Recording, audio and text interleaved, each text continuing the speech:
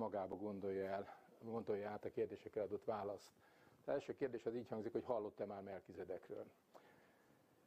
Hogyha igen, akkor a második kérdésem az, hogy tudná őt háromnál több mondattal jellemezni? És a harmadik kérdés, hogy templomban tiszteletes vagy tiszteletnő úrtól hallotta a Melkizedek nevet. Természetesen ki fog majd derülni, hogy miért tettem föl ezeket a kérdéseket, és hogy miért ezeket a kérdéseket tettem föl. Most azonban szeretnék néhány mondatot szólni a címválasztásról. Melkizedek és az Ószövetség, ezt a címet adtuk a mai beszélgetésnek, és tudom, hogy megtévesztő lehet a cím, ugyanis ha valaki olvasta már az Ószövetséget, helyesbitek, ha valaki elkezdte már olvasni az Ószövetséget, és mondjuk olyan kitartó volt, hogy eljutott Mózes első könyvének, és a Teremtés könyvének a 14. részéig, akkor az joggal gondolhatja, hogy hát ha valahonnan, akkor az Ószövetségből nem sokat lehet Melkizedekről megtudni. Vagy talán mégis. Elképzelhető ugyanis, hogy a figyelmes olvasónak éppen az ószövetségi szűkszavúság üt a fejébe. Ugyanis Mózes öt könyvében, vagyis a Tórában, és a hozzá kapcsolt 34 másik könyvben, egészen pontosan 33 könyvben és Jeremiás síralmaiban, amelyek így együtt alkotják az Ószövetséget, összesen kétszer szerepel a Melkizedek név. Először a Teremtés könyvének már említett 14. részében, másodszor pedig a Zsoltárok könyvében, ahol a 110. Zsoltár negyedik versébe ezt olvashatjuk, pap vagy te örökké Melkizedek rendje szerint. Most ezzel az előfordulással nem fogunk foglalkozni, ugyanis ez a mondat szó szerint megismétlődik Pálapostól zsidókhoz írott levele 7. részének 17. versében. Ezt a levelet viszont majd alaposan körül fogjuk járni. És akkor mindjárt, ha már elhangzott Pálapostól neve, akkor felmerülhet a kérdés, hogy na de hát Pálapostól Gamaliel rabbinak, a nagyműveltségű farizeusnak, írástudónak, a Sanhedrin, vagyis a főtanács tagjának volt a tanítványa, és mint ilyen a szent írások törvény kiváló ismerője, mellesleg kiképzett keresztény üldöző. Honnan tudhatott ő olyan sokat Melkizédekről, és miért tartotta olyan fontosnak, hogy ezt közölje, méghozzá úgy, hogy egy egész fejezetet szenteljen, összesen 28 verset neki. Ezt azonban egyelőre tegyük el a megválaszolandó kérdések fiókjába, mert most szeretném elmesélni, hogy én személy szerint hogyan találkoztam Melkizedekkel. Jó tíz évvel ezelőtt Pap Gáborral Nyíregyházára utaztunk, és az oda-vissza úton az autóban bőségesen volt alkalmunk beszélgetni. Többek között szóba került az egyiptomi hieroglifás írás is. És akkor Gábor azt mondta, hogy ha valóban érdekel a téma, akkor feltétlen olvassam el Borbola János Csillagszoba című zseniális könyvét. Hát nekem több se kellett, másnap első dolgom volt, hogy meg, megvegyem és elolvassam, illetve megvegyem, és aztán hosszasan olvassam és emészem a több mint 500 oldalas, valóban nagyszerű írást, ami annyira lenyűgözött, hogy alig, hogy befejeztem, már is fogtam a következő kezemügyébe kerülő Borbola könyvet, aminek a címe a magyarok istene volt. És itt jön a képbe Melkizedek, ugyanis ennek a könyvnek a 17. oldalán a következőket olvashatjuk, olvashatják, ha elolvassák. Érdemes, most szó szerint idézem, érdemes felfigyelni a Melkizedek, emelek, íz, adok, hangtani párhuzamra. Zárójelben hozzáteszi a szerző, gondoljunk csak az úrfelmutatásra, a kenyér és bor jelképes felemelésére. Ha valaki esetleg le akarta volna írni Borbola Jánosnak ezt a hangtani párhuzamát, majd megteheti, mert nem sokára fogom vetíteni, most azonban fejezzük be a történetet. Lényeg az, hogy nekem annyira nem tetszett ez a, ez a hangtani párhuzam, hogy az volt az első gondolatom, hogy ennél lehet, hogy még én is jobban tudnék, csak hát ahhoz először tudnék én, hogy ki az a Melkizedek. És ezzel tulajdonképpen el is indult egy csak nem tíz évig tartó, hát hogy is mondjam csak, ismerkedés. Azért nem mondom, hogy kutató munka, mert ahhoz nem volt eléggé kitartó és következetes. Inkább a hullámzás volt rá jellemző, Néha fellelkesültem, általában olyankor, amikor valami izgalmasnak tűnő forrásra bukantam, aztán apadt a lelkesedés, de ilyenkor mindig valahonnan szembe jött velem Melkizedek, így, így felevent újjal, hogy nekünk még van egy közös befejezetlen ügyünk. Az évek során rengeteg Melkizedekkel kapcsolatos forrást tanulmányoztam át, ezek többnyire angol, német, illetve francia nyelvű források, és ami meglepő, hogy nincs bennük egy olyan vezérfonal, amelyre föl lehetne fűzni a Melkizedekkel kapcsolatos mítoszokat, hagyományokat. Közben pedig az ember végig érzi, hogy kell legyen egy közös gyökér, csak az abból kinőtt fát valamikor gondos kezek tőből kivágták, és a föld alól előbújó új hajtások azok olyan távol kerültek egymástól, hogy önálló életet kezdtek élni. Most ezek között a hajtások között az egyik igencsak életre valónak bizonyult, és pedig az, amelyik Melkizedek kapcsán egy sor az Ószövetséggel kapcsolatos megválaszolatlan, homályban maradt, vagy szándékosan homályba hagyott kérdésre irányítja a figyelmet. Nos, először foglalkozunk ezzel a hajtással, és aztán majd a végén próbáljuk megkeresni ezt a bizonyos közös gyökeret. Ugye említettem, hogy Borbola János magyarul próbálta kiolvasni Melkizedek nevét, és akkor mindjárt föl is lehet háborodni. Tehát hogy jön valaki ahhoz, hogy ószövetségi neveket magyarul olvasson?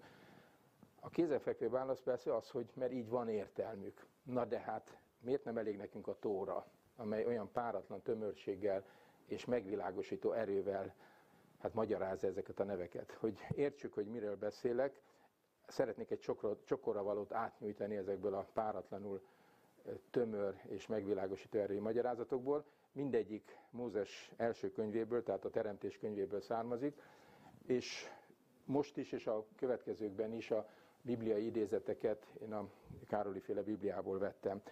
Miután ugyanabból a könyvből, tehát Mózes első könyvéből valók, ezért a, a versek elé csak a, a részt, a, tehát a fejezetnek a, és a versnek a sorszámát mondanám. Tehát 4.25.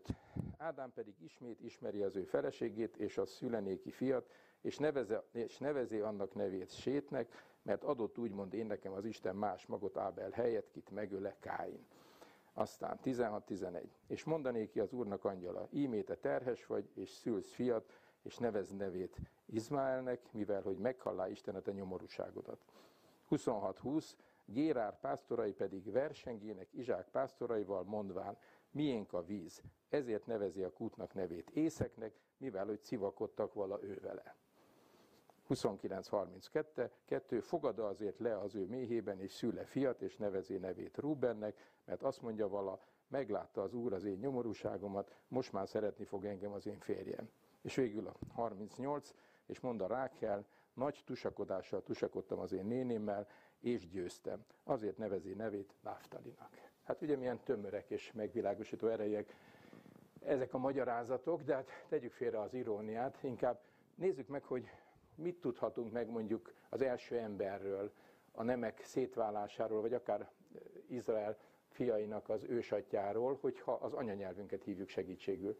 Ehhez azonban néhány alapfogalmat tisztázni kell, és engedjék meg, hogy azok kedvére, akiknek szám, számára ez esetleg újdonság, nagyon gyorsan megpróbáljam összefoglalni a szükséges tudnivalókat. Első tétel, magyar nyelvben a mással hangzóknak van jelentéshordozó szerepük. A magánzók azok csupán lélekkel töltik fel ezt a vázat. Ezt mi úgy fogjuk jelölni, hogy csak a más hangzókat, amikor szavakat elemzünk, csak a más hangzókat írjuk nagybetűvel, a köztes magánzókat pedig kicsivel. Kettes számú tudnivaló, hogyha egy szóban egy máshangzót hosszan vagy nyomatékkal kell ejteni, amit a hétköznapi írásban a máshangzó megkettőzésével jelöljük, azt mi most úgy fogjuk jelölni, hogy a második előfordulást egy kis alsó indexként, legalábbis kisebb méretben jelöljük, hiszen nem kétszer ejtjük ki a máshangzókat, nem azt mondjuk, hogy állat vagy ott, hanem csak erőteljesen nyomatékkal. A harmadik tétel az talán egy kicsit szokatlan lesz, és furcsán fog hangzani, ez pedig úgy hangzik, hogy egy adott szóban egy adott máshangzót elvileg akárhányszor megismételhetünk, felhasználhatunk. Most, hogy, hogy ez ne okozzon zavart, arról a nyelvünk belső szerkezete gondoskodik, ugyanis ha visszaélnénk ezzel a lehetőséggel, akkor az dadogássá válna. Fogunk majd erre is példát látni. És végül ismernünk kell a máshangzó kategóriák fogalmát. Azokat a máshangzókat soroljuk ugyanabba a kategóriába, amelyeknek a kiejtésekor a hangképző szerveink közel azonos állást tesznek föl, és ezért ezek a máshangzók könnyen átcsúsznak egymásba. Hat máshangzó kategóriát különböztetünk meg, ezeknek az elnevezései nincsenek kőbevésve. Célszerű olyan neveket választani, amelyekben az adott kategóriába tartozó máshangzók minél nagyobb számban fordulnak elő, mert így könnyebb őket megjegyezni. Akkor nézzük, melyek ezek a kategóriák. Az első kategória az úgynevezett befúvó vagy pöfögő hangok. Ezek ide tartozik a B, az F, a P és a V. Aztán a tudós kategóriába a T, D, T, a jeles vagy jelíró kategóriába az L, R, J és az LY, a nyammogó, vagy hát ismertebb idegen nevén a nazálisok közé az MN és az Eny, a sziszegősök közé az S, S, a Z, a Z, és tágabb értelemben a C, C, illetve a ZJ is ide tartozik, és végül a hatodik kategóriánk az úgynevezett köhögősök, a KHG és a G. Most e, ezek között a kategóriák között két rendhagyó van, az egyik a sziszegősök, ugyanis ezek nem rendelkeznek a más hangzóknak az egyik legjellegzetesebb tulajdonságával, hogy tudni, csak egy magánhangzó kíséretébe tudjuk őket hosszan ejteni, sziszegni, zizegni, addig tudunk, ameddig csak a szuflánk engedi. A másik rendhagyó kategória az pedig a nazálisoké. Ezek azért rendhagyók, mert könnyen átcsúsznak valamelyik másik kategóriába. Gondolom mindenki volt már náthás, ha nem, akkor nem sokára lehet, mert jön az influenza járvány, és hogyha meg vagyunk fázva, és be van dugulva az orrunk, és megkérdezik, hogy mi bajunk, és azt mondjuk, hogy nem tud, meg vagyok fázva, akkor ez az M, ez a nazális M, ez ugye a, a, a pöfögőseknek a B-jébe csúszik át, és ha megkérdezik, hogy hol fáztál meg, és azt mondjuk, hogy nem tudom, akkor pedig a, az N, az pedig a tudósok D-jébe. Ezért aztán vannak olyan írások, amik nem is kezelik külön kategóriaként, ezt most már csak a, eh, az érdekesség kedvéért jegyzem meg, például a, a hindu, illetve a szanszkrit nyelveknek az írása, az úgynevezett Devanagari írás, az nem kezeli külön kategóriaként ezeket a nazálisokat. És egy utolsó megjegyzés, az azonos kategóriába tartozó más hangzók egymással felcserélhetők. És akkor most már az elmondottak alapján megnézhetjük Borbola Jánosnak ezt a bizonyos hangtani párhuzamát, tehát ő ezt így hangzósította, Melkizedek, látják, ugye csak a más hangzók vannak nagybetűvel írva, és azt mondja, emelek, íz adok. Na most ez, ez na, azt is látjuk mindjárt, hogy ez miért annyira rossz. Tehát pontosan miért hangzik olyan rosszul. Itt van egy tárgyasige, és nincs tárgy de most már tudunk annyit, hogy ezt könnyen ki tudjuk javítani. Hogyan? Úgy, hogy a Melkizedek névbe a tudós D-t megkettőzzük, és az első előfordulását az azonos kategóriába tartozó T-re változtatjuk, és akkor mindjárt jobban hangzik, emelek, ízt adok. És akkor most nézzük Ádámot, az Ádám nevet. Nem csak azért kezdünk vele, mert ő volt az első ember, hanem azért is, mert ő az egyik kulcs szereplője a Melkizedek dossziénak. Ádám az első emberős, és ezért egyáltalán nem meglepő, hogy a nevének bizonyos változatai más mítoszokban is előfordulnak, általában egy sziszegős hanggal a végén, aminek valószínűleg az az oka, hogy ezek a nevek leginkább görög, illetve latin forrásokban maradtak fönn. És akkor nézzük, hogy milyen változatok ragozhatók ki például az Ádám névből. Most amit itt a jobboldali oszlopban látunk, mik ezek? Ezek az ember őstípusának Dumuzi Sumér, Tammuz,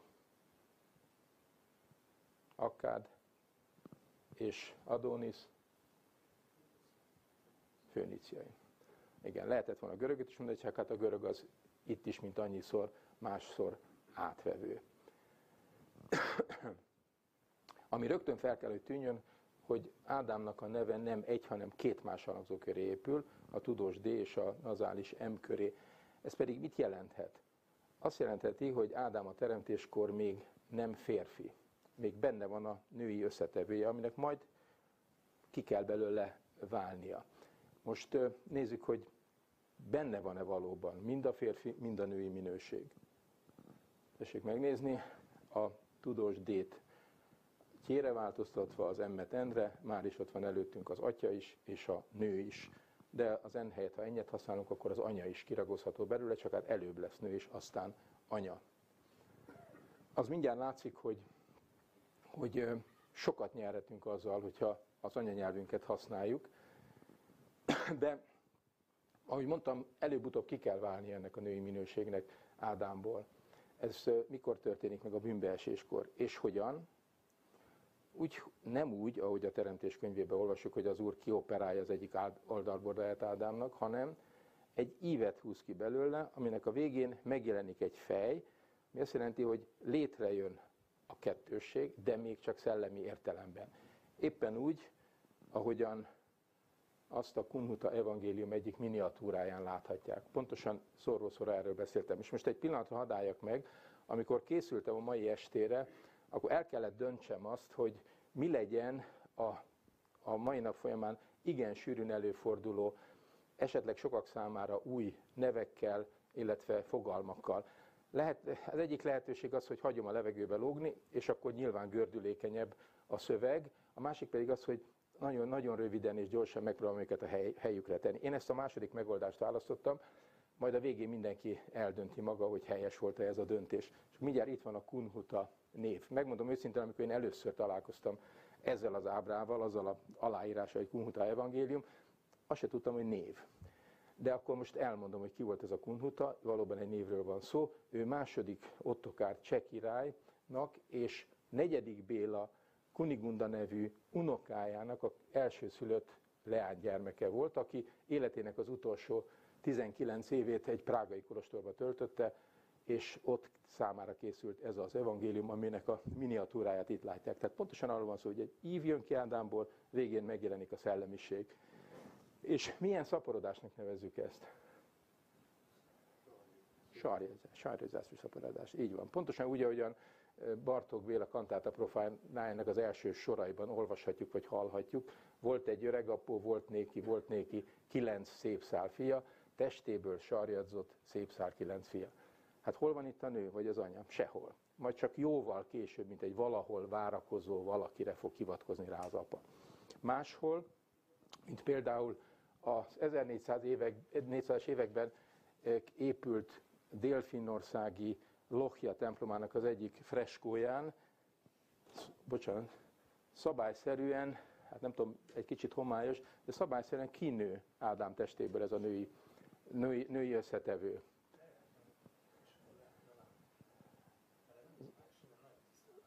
Zoli, egy kicsit lejjebb ott lehet ott menni? Aztán lehet, hogy teljesen úgy is rossz. De jön elő a nő, már kétségtelen. Igen. Hát itt nincs is ott, nincs is jelen a, a, az atya. Minden esetre ennek a női minőségnek ki kell Ádámból válnia, és vajon miért nevezik ezt Évának? Hát azért, mert az úr egy ívet húz ki Ádámból, és angolok hogy mondják az Évát? Ívnek, franciák Evnek, mi Évának. De még a Héberben is, ekköré a V köré szerveződik az első nőnek a neve, csak ott Havvának nevezik.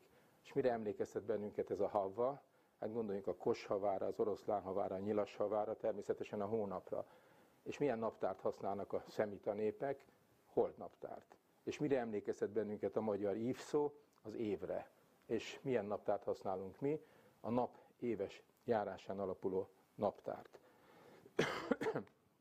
Most azzal, hogy az Úr kihúzza ezt a női minőséget Ádámból, egy növekedési tendenciát indít el. Nő, növekedés, növevény, nekünk ez te, abszolút természetes, minden esetre ehhez már időre van szükség. Az idő tulajdonképpen itt jön be a teremtésbe. Addig, amíg csak egység van, addig nem létezik idő. Ahhoz, hogy az idő megjelenjen, ahhoz kétségbe kell esni, pontosabban meg kell, hogy jelenjen a, a kettősség. És azt hogy, az, hogy hogyan modellezzük ezt az időkeretet, az meghatározza az adott kultúra jellegét.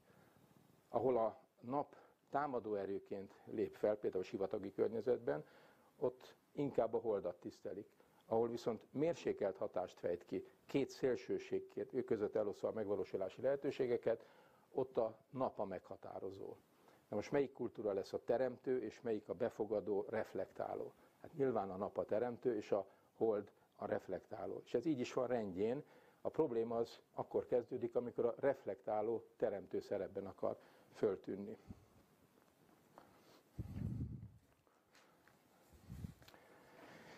És akkor ne hagyjuk ki a zsidóság ősatját, Ábrahámot sem.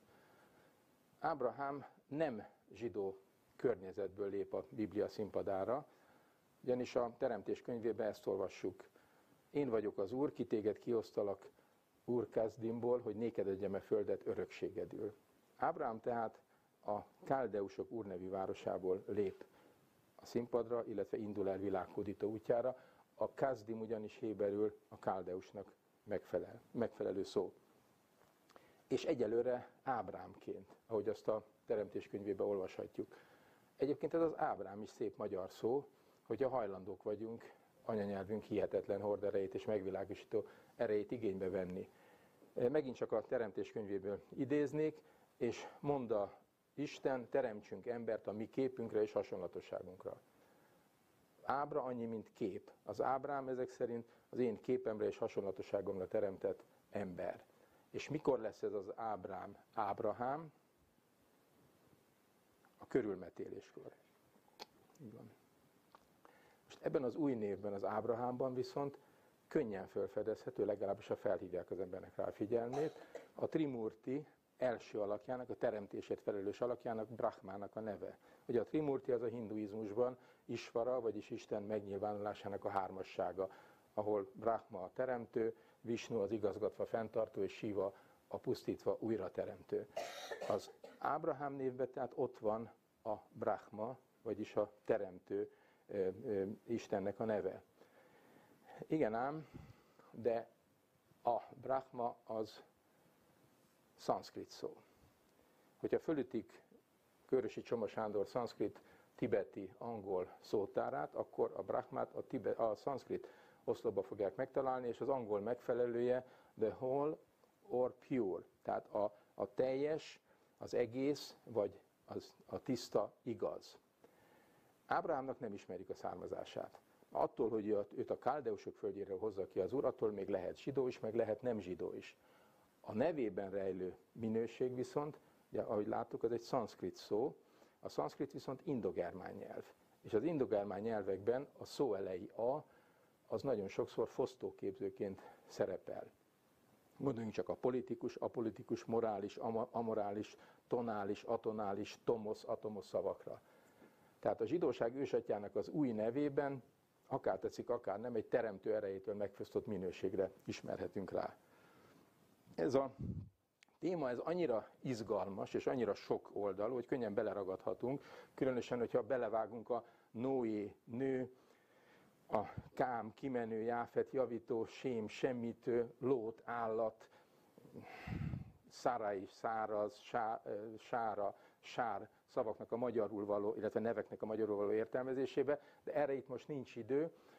Hogyha valakit ez a kérdés mélyebben érdekel, akkor bőségesen válogathat Pap Gábornak a témában elhangzott előadásai között. Én az előbbiekhez forrásul a Gödöllön elhangzott Noé című előadását használtam föl. Tovább kell lépnünk, de egy névre még szakítsunk időt, és most a Wikipédiából idéznék. A János bibliai eredetű férfi név a Héber Johannan névből származik, jelentése Jahve megkegyelmezett. Ne felejtsék el. Tehát Jahve megkegyelmezett. Most ki a legismertebb János? Hát nekünk keresztényeknek nyilván az apostol és evangélista János, akiről úgy tudjuk, hogy egy és ugyanaz a személy volt, és aki az ő, akire a Jézus az ő háromdimenziós földi létét hagyományozta. Ugye mit mond Jézus a keresztfáról? János evangéliuma szerint asszony íme a, te, íme a te fiad, íme a te anyád. Ez pedig azt jelenti, hogy János nem hal meg. Tehát nem véletlen, hogy neki nincs, az, az apostoloknak nincs holteste, de nem is öregszik. Örök fiatal, és már most is itt van közöttünk. Hogyha bármelyik apostolábrázolásból apostolábrázolást megnézzük, akkor ott van egy csomó szakállas öreg úr, meg van egy fiatal.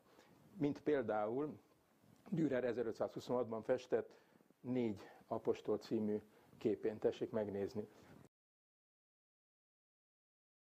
De még ennél is ismertebb Leonardo da Vinci utolsó vacsora című freskója, és itt a Jézus jobb oldalán ülő János apostolba makacs következetességgel Mária Magdalénát akarják belelátni. Hát mi tudjuk, hogy miért. Nem tudom, hogy föltűnte önöknek, hogy az elmúlt, most már több mint 70 évben milyen elképesztő, erőszakos kampány folyik Jézus deszakralizálására. Ennek a folyamatnak vannak igen jól azonosítható állomásai. Én most csak egy párat hadd soroljak föl.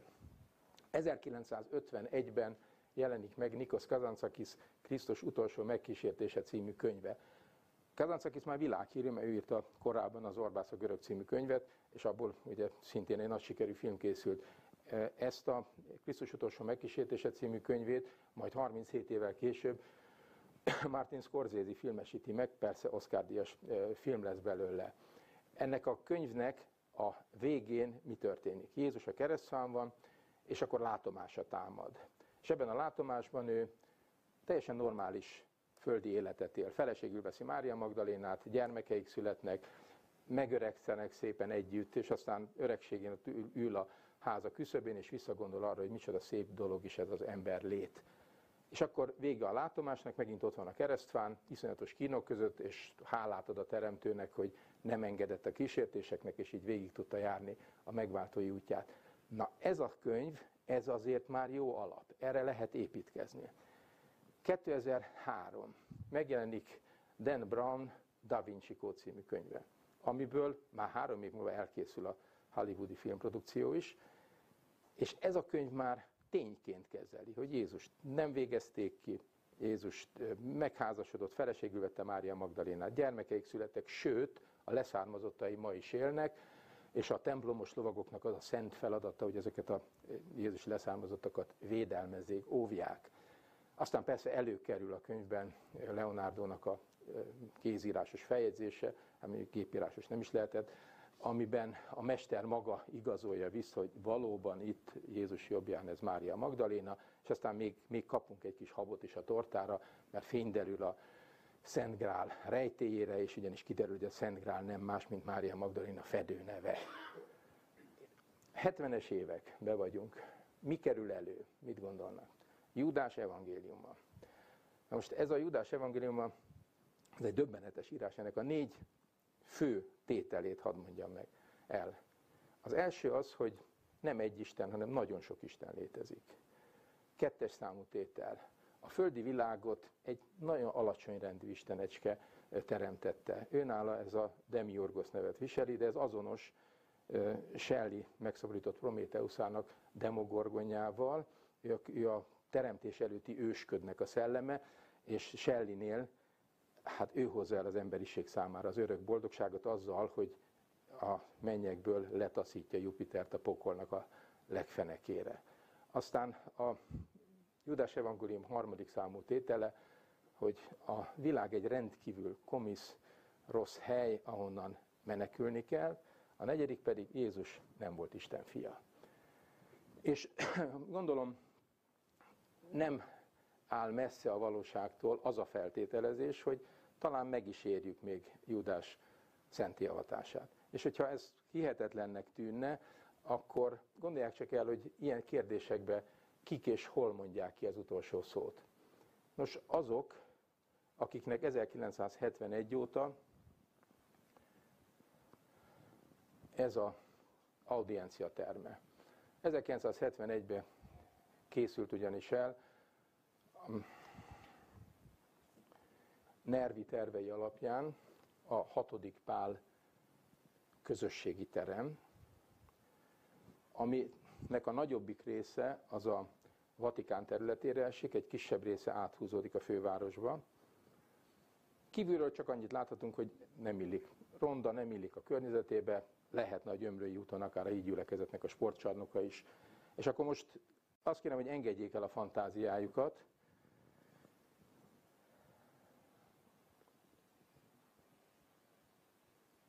Aztán nézzünk egy belső képet.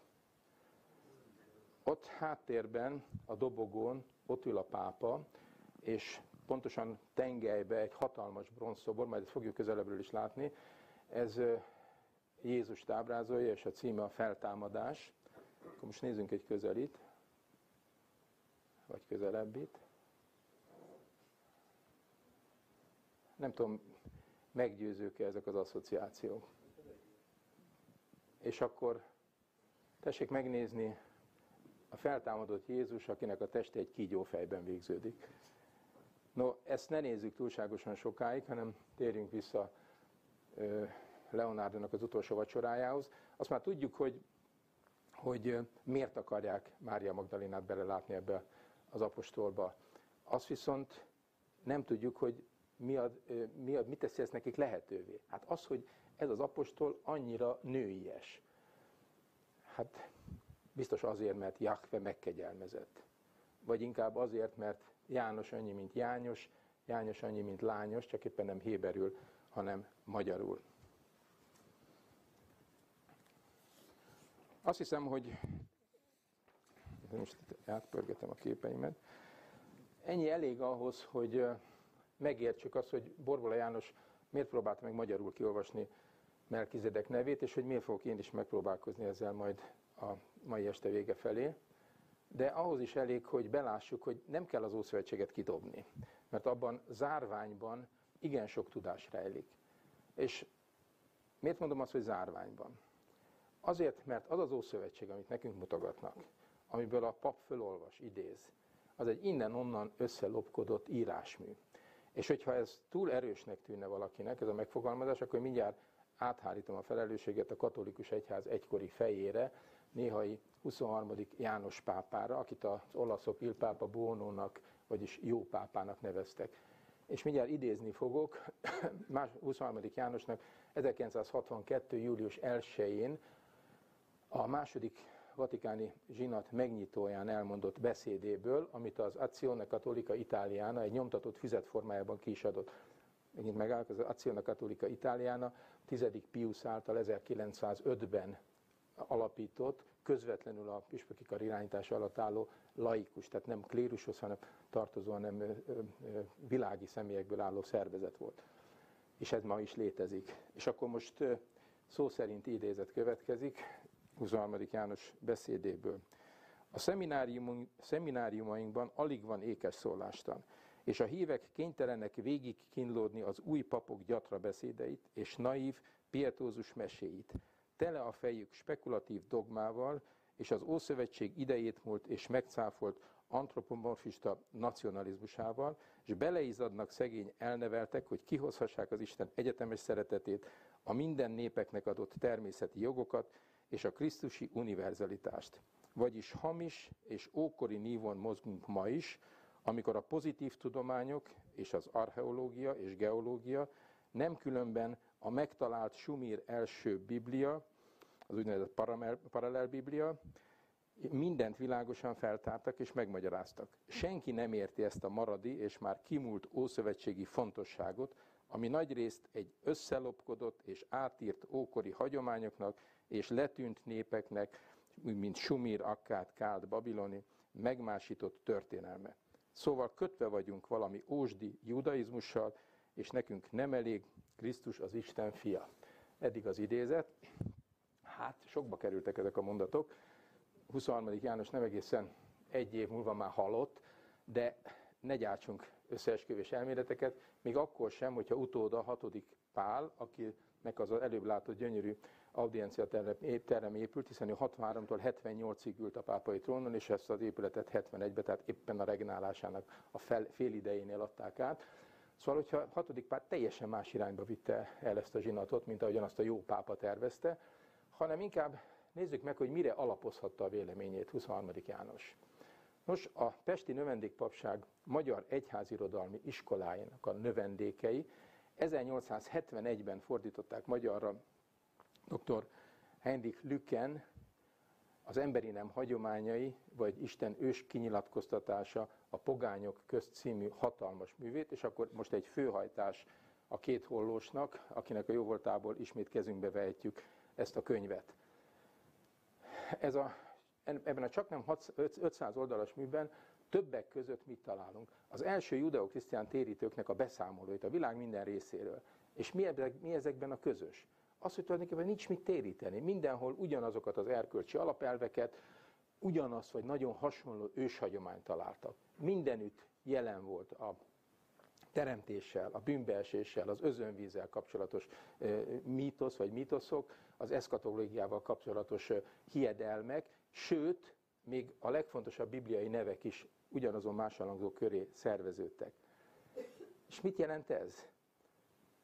Először is biztosan tudjuk, hogy nem juthatott el korábban az a judeon-krisztián térítés. Akkor pedig mit jelent? Az, hogy kellett, hogy legyen az emberiségnek egy ősi vallása, amely egy közös ősi nyelven fogalmazódott. Emlékezünk csak, hogy mit mondott 23. János az előbb elhangzott idézetbe a Sumir paralel Bibliáról. Tehát akkor, amikor mi bibliai neveket magyarul olvasunk ki, akkor nem csak a magyarság, hanem az emberiség számára fedezzük föl a bibliai lehetséges másik olvasatát. Mert mi a legnagyobb baj az Ószövetséggel? Az, hogy a zsidóság szent könyveként akarják nekünk eladni. Miközben éppen a zsidók azok, akiknek a legkevesebb közük van hozzá. És mivel nem az ő mítoszaik, nem az ő hagyományaik jelennek meg benne, ezért nem is értenek belőle semmit. És ne felejtsük el azt se, hogy 312-ben egy római császár, első Konstantinus volt az, aki engedélyezte a birodalom területén a kereszténység szabad gyakorlását. Majd 68 évvel később megint csak egy római császár, Teodózius volt az, aki államvallásra emelte. Most gondolom, senki se hiszi, hogy itt valami mélységes, vallásos meggyőződés vezette ezeket a császárokat. Pontosan ugyanúgy, mint ahogy a két évvel később, 382-ben befejeződött kanonizációs folyamatnál sem. Ugye kanonizációnak nevezik bizonyos írásoknak az egyház által a Biblia könyvei közé való besorolási folyamatát. Tehát itt bizony a leghétköznapibb politikai, anyagi, hatalmi megfontolások játszották a szerepet. Úgyhogy e, sose feledkezünk el a, erről, amikor szent könyvekről beszél nekünk a pap. Mert mi a legnagyobb veszedelmi annak, hogyha elhisszük azt, hogy amit ugye a kanonizáció végén állít, és azóta is állítanak nekünk, hogy a Biblia az első betűjétől az utolsóig azonos ihletettségű, Istentől sugalmazott szent írás. Mi ennek a legnagyobb veszélye? Az, hogy hamarosan azt is el fogjuk hinni, hogy az éppen háromszoros terjedelmi Ószövetség tartalmi súlya és háromszorosa az új szövetségnek. Ennek pedig mi lesz a következménye? Az, hogy a judeokrisztiánizmusban a judeoelem szép fokozatosan kiszorítja a krisztusi tanítást. És hát itt tartunk most. Az elején három kérdést tettem föl. Az első az úgy hangzott, hogy hallott-e már Melkizedekről. Ezt azért mertem megkérdezni, mert történetesen az én baráti és családi környezetemben erre nem sokan válaszoltak volna, illetve válaszoltak igennel. A második kérdés az úgy hangzott, hogy tudna-e háromnál több mondatot mondani róla. Ezt meg azért kérdeztem, mert az Ószövetség már idézett, illetve még nem idézett, csak jelzett részében Összesen három mondat foglalkozik Melkizedekkel. A új szövetségnek a bőbeszédű részét meg valamiért nem akarodzik a papoknak idé, idézniük. Hát majd azt is fogjuk látni, hogy miért, és meg fogjuk őket érteni. A harmadik kérdés pedig, hogy templomban tiszteletes vagy tisztelendő úrtól hallották el Melkizedeket, nevet az pedig egyenesen következik az első kettőből. És akkor vége a bevezetőnek, és akkor most nézzük, kezdjük el az ismerkedést Melkizedekkel. Ugye mondtam, hogy az Ószövetségben, Mózes első könyvében, illetve a, a, tehát a Teremtés könyvében, a 17. résznek összesen három verse az, amik Merkizedekkel foglalkozik. Próbáljuk ezt a három verset elhelyezni a maga, maga környezetében. Ez az egész 14. fejezet négy király szövetségének a Szodomát és Gomorát védő öt király ellen viselt hadjáratát írja le. A királyok győznek, felégetik, feldúlják Szodomát, aki életben marad, azokat pedig jószágostól, családostól elhurcolják. A probléma az, hogy Ábrám unokaöccse, Lót is Szodomában lakott, ő is fogságba esik. Amikor a nagybácsi értesül erről, akkor, és figyeljenek, a Szentírásból idézek, felfegyverzi 318 kipróbált legényét, és a királyok üldözésére indul az éjszaka folyamán utoléri őket, rajtuk üt, legyőzi, és aztán lótostól mindenestől hazatér. És akkor innen szó szerint idéznem a 14. fejezet 18, 19. és 20. versét. Melkizédek pedig Szálem királya kenyeret és bort hoza, ő pedig a magasságos Istennek papja vala.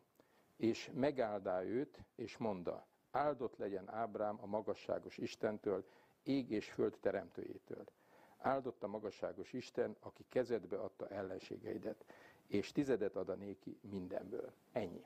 Na most ez kevés vagy sok? Hát a nézőpont kérdése. Ha úgy veszük, hogy az egyébként meglehetősen bőbeszédű Ószövetség mindössze 43 szót szentel Melkizedeknek, megszámoltam, a Károli féle Bibliában ez pont 43 szó, hát akkor kevés. Ha viszont úgy veszük, hogy mi minden olvasható ki ebből a 43 szóból, akkor már nem is biztos, hogy olyan kevés. És akkor nézzük meg, hogy micsoda. Először is megtudjuk, hogy Melkizedek király, méghozzá pap király. Megtudjuk azt is, hogy kenyeret és bort hoz az Ábrámmal való találkozóra. Nyilván nem evés-ivás céljából, hiszen áldásról is szó lesz, vagyis Melkizedek több ezer éve Jézus megjelenése előtt kenyérrel és borral áldozott. Azt is megtudjuk, hogy Melkizedeket nem ember szentelte pappá, ő a magasságos Isten papja, tehát minden papok között a legmagasabb. Ugye kikit áld meg, hát nyilván a magasabb az alacsonyabb rendű, tehát Melkizedek áldja meg Ábrámot. És megtudjuk azt is, hogy Melkizedek Sálem vagy Szálem királya.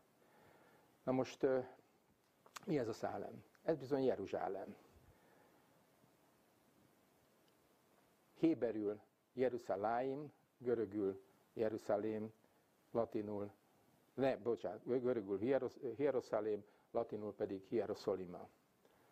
És még megmondom, bár nem ide tartozik, de megmondom, hogy a arabok hogyan nevezték. Alkusznak hívták az arabok.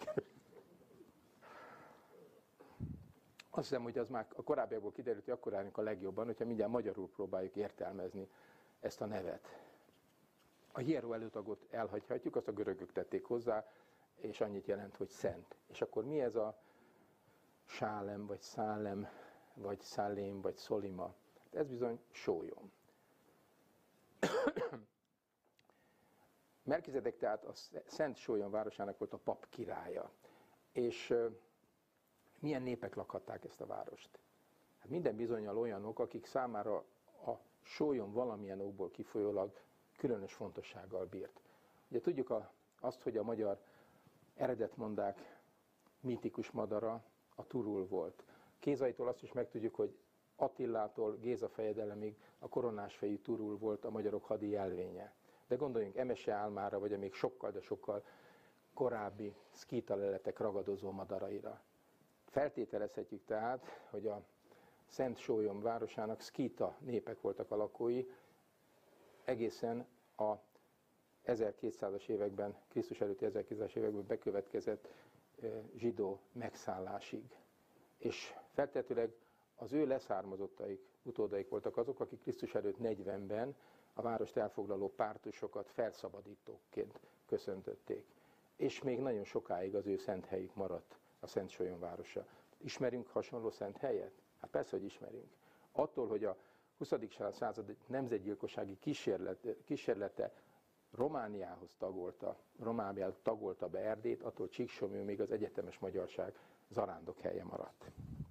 És aztán itt a 20. versben meglehetősen hát félreérthető a fogalmazás. Pontosabban én számomra nem érthető félre, mert én úgy gondolom, hogy egyértelmű, ebb, szerint a fogalmazás szerint, hogy Melkizedek fizet tizedet Ábrámnak. Ugyanis hogyan fogalmaz? Újra elolvasom.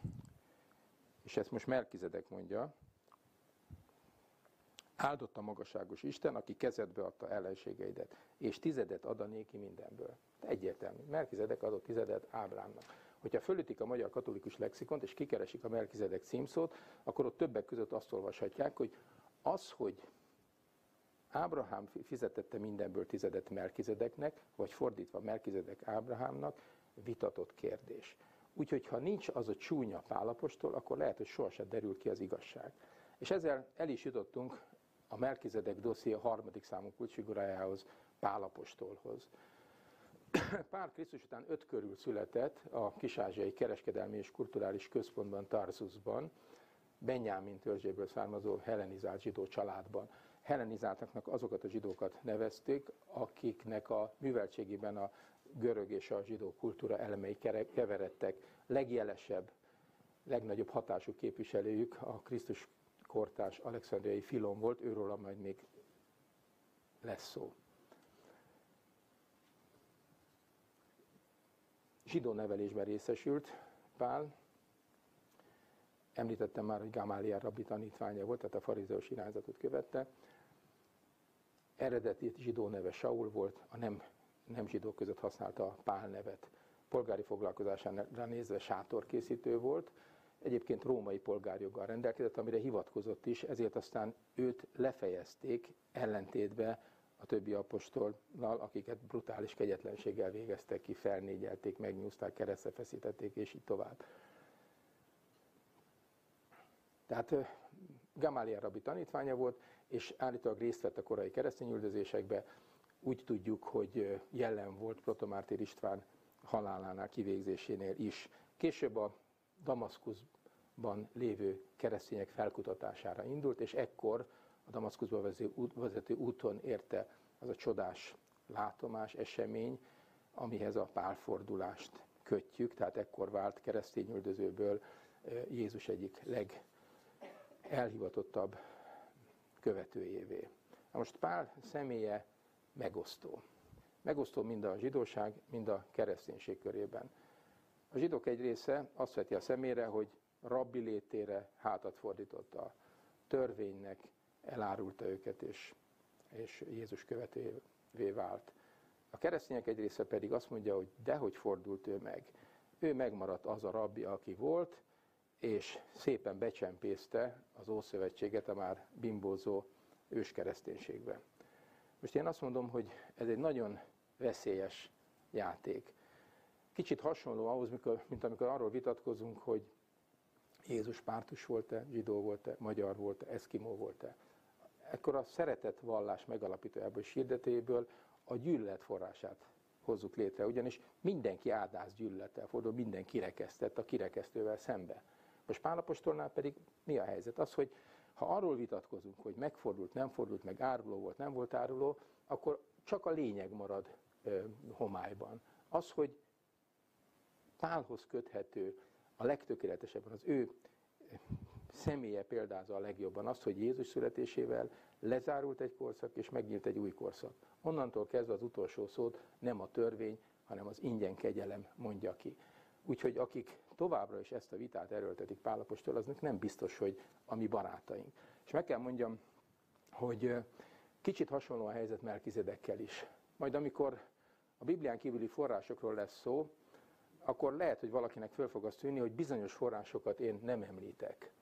Nem azért nem említem, mert nem ismerem őket, hanem tudatosan hagyom ki azokat, amelyek semmi mástra nem használják Melkizedeket, mint hogy azt bizonygatják, hogy Melkizedek szkíta volt, és mivel fölötte állt, a, ő az Isten által felszentelt főpap fölötte állt a lévita papoknak, ezért természetesen már megint ott tartunk, hogy a, a, a magyarokat még jobban fogják utálni. Én ezeket a, ezeket a forrásokat szándékosan hagyom ki, és szerintem akik, akik ezeket idézgetik és hivatkoznak rá, azok vagy nincsenek tisztába ennek a játéknak a következményeivel, vagy pedig tudatosan játszák ezt a játékot.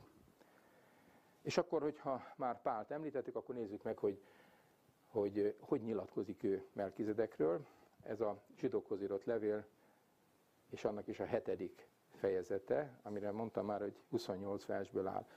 Az 1-től 13. versig végig Melkizedekről beszél, a 14-től 28. versben pedig már Jézusról, de mint Melkizedek rendje szerinti főpapról.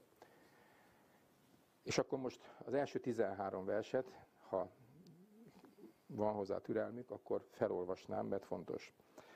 Mert ez a Melkizédek Szálem királya, a felséges Isten papja, aki a királyok leveréséből visszatérő Ábrahámmal találkozván őt megáldotta, akinek tizedet is adott Ábrahám mindenből, aki elsőben is magyarázat szerint igazság királya, azután pedig Szálem királya is, azaz békesség királya.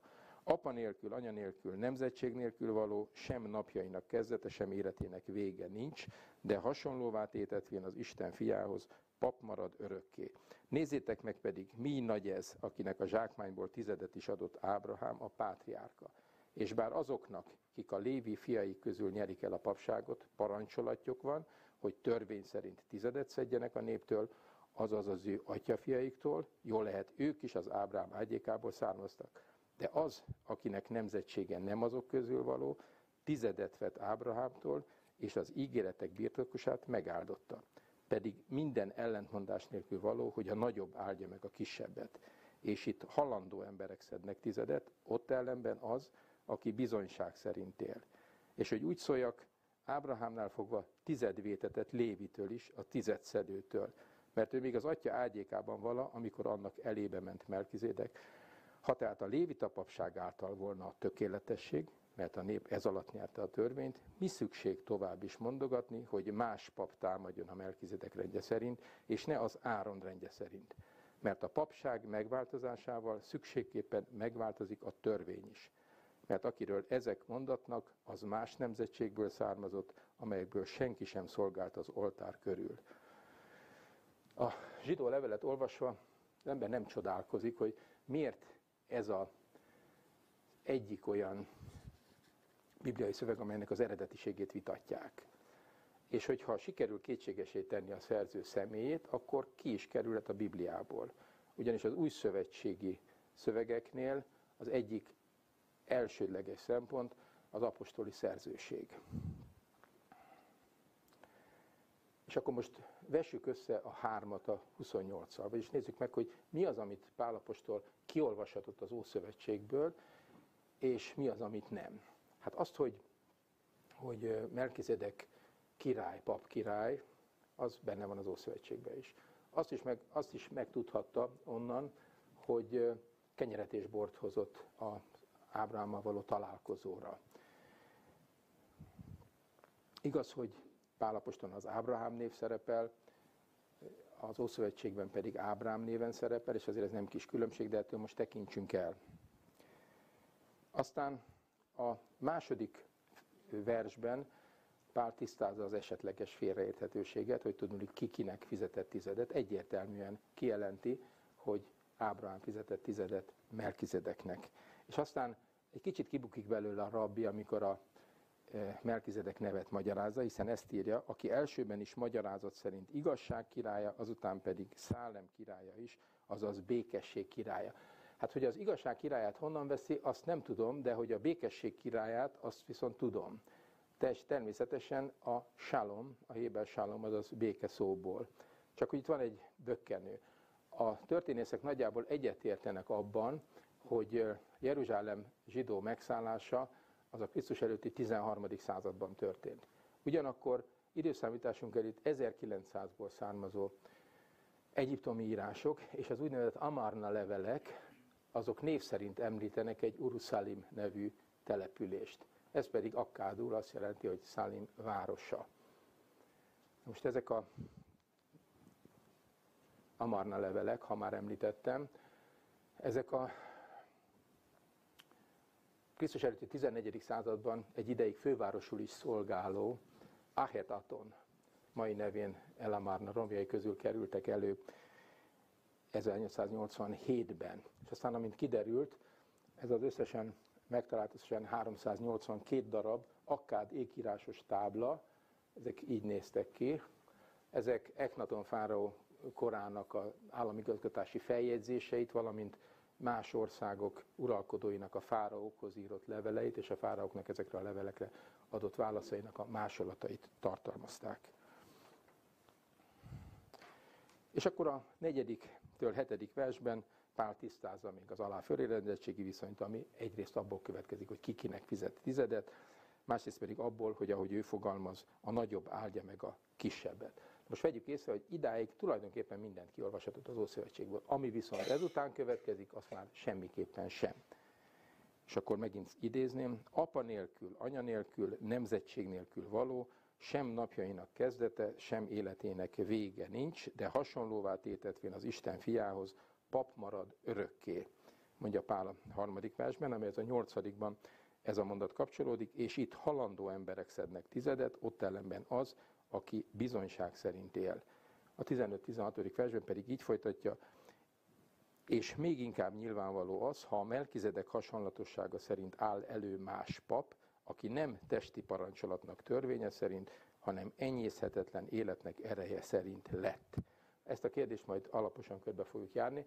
Most azonban fejezzük be a zsidókhoz írott levelet, mert ezzel tulajdonképpen hát legalábbis a mai estére búcsút mondunk a Bibliának. És vajon miért volt szükség a lévita papokat szerénységre intenie Pálapostolnak? Azért, mert már 2000 évvel ezelőtt is jól látszott, hogy végveszélybe sodorják a világot, hogyha Istennek kezdik magukat képzelni. És hogyha valaki túlzónak tartja ezt az aggodalmat, akkor az vegye meg az itt jelenlévő Miklósvölgyi János tavaly megjelent Ábel útján az Izenheimi Oltár üzenete című könyvét, lapozza föl a Pap Gábor által írt utószót, és keresse meg benne azt a három képet, amely Mária mennybéli koronázása ábrázolásának, hát most idézőjelben mondom, fejlődését mutatja. Ugye hagyományosan ezt a jelenetet úgy ábrázolták, hogy középen ül Mária, egyik oldalán az Úr, másik oldalán Jézus, és ők helyezik a fejére a koronát. És akkor ima az első két kép, ez így rendjén is van, és akkor most tessenek megkapaszkodni. A harmadik képen ugyanis az atyát egy zsidó főpapra cserélte le a mester. És ez a kép a Krakói Mária Bazilika egyik stallomának, vagyis ülőpadjának a hátlapján látható. Tessék megnézni közelebbről is. Semmi kétség. Úgy nem hoztam el a mutatópánszámot. Tehát a hósen, ott a szakálla alatt látszik a főpapunknak, a hósen, eh, vagyis a melpajzs, rajta háromszor négy drága kővel, amelyben Jákob fiainak, vagyis Izrael 12 törzsének a nevét vésték be születésük sorrendjébe, az aranyozott éfod, a kék bíborköpeny, a színek nem olyan jól jönnek ki, az öv és a magas főpapi süveg hiánytalanul jelen van a kohanita öltözéknek minden kelléke, pontosan úgy, ahogy azt Mózes a második könyvében előírta. Kohanitáknak Á, Ábelt és férfi leszármazottait hívták. És ez a kép, ez a nagyon katolikus Lengyelország, még katolikusabb Krakójának, legkatolikusabb, az áldott szűzben Mária mennybe menetele nevét viselő templomában található. Hát döbbenetes, hogy lengyel testvéreink nem veszik észre, hogy mi történik itt. Azért ez egy, ez egy barokk ábrázolás, tehát ez legkorábban, az 1500-as évek végén, ha jól, jól tudom, akkor születhetett. Vagy ami még rosszabb, hogy észreveszik, csak már nem is törődnek vele. Úgyhogy jelentsük ki, hogy látnok volt ez a pálapostól, amit azért el is vártunk tőle. És akkor most engedjék meg, hogy néhány képet mutassak annak illusztrálására, hogy milyennek látta Melkizedeket az egyház művészet, és ezáltal milyennek láttatja velünk templomlátogatókkal. És ezek a képek arról is nyilván elárulnak sokat, hogy mit értett meg az alkotó a Melkizedek jelenségből. Ez a kép a hajdudorogi görög katolikus főszékes egyház igonosztáziájának az egyik ikonja. Ez a hatalmas képfal, ugye ikonosztázia azt jelenti képfal, ez 54 ikon tartalmaz, és 8 évig, 1808 és 16 között készült. Ennek a képnek a felirata Ábrám találkozása Jeruzsálem királyával Melkizedekkel. Na most remélem, hogy senkit nem bántok meg, ha azt mondom, hogy hát ez a Melkizedek egy, egy nagyhasú pojáca. De hogyha finomabban akarok fogalmazni, akkor egy falstaf, de hiány minden falstafi méltóságnak. Úgyhogy a, lényegről ez az égvilágon semmit nem árul el. A következő kép az lesz a másik véglet.